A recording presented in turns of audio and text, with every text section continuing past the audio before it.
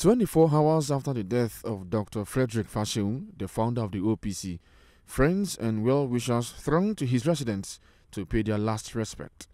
Mourners can be seen consoling members of his family. A condolence register was opened for the deceased, whose indelible marks, according to his family, will be sorely missed.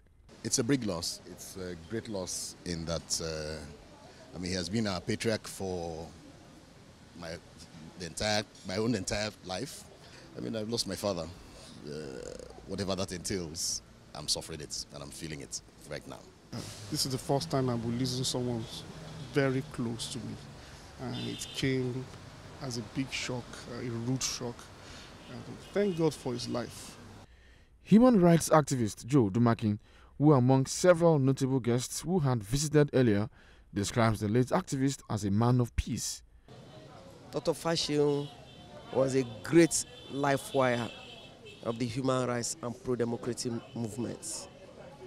He lived a life worthy of emulation. It's a pity that we lost him.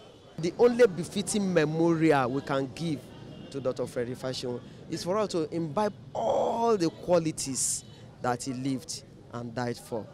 Adieu, Dr. Freddie Fasehun We surely miss you. It was a wonderful man.